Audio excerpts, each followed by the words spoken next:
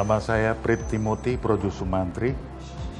Dalam Moonrise of Egypt ini memerankan sebagai Haji Agus Salim. Berbicara soal tokoh nasionalis satu ini, beliau adalah orang yang sangat uh, berjuang demi mendapatkan kedaulatan kemerdekaan Republik Indonesia di Mesir.